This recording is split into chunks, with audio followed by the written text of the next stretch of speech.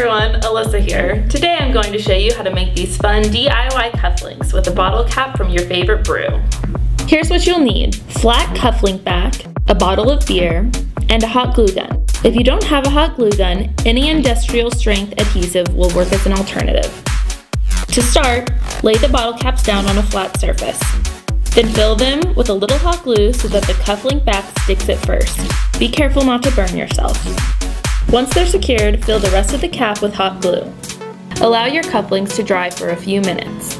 And there you have it. Your finished product should look something like this.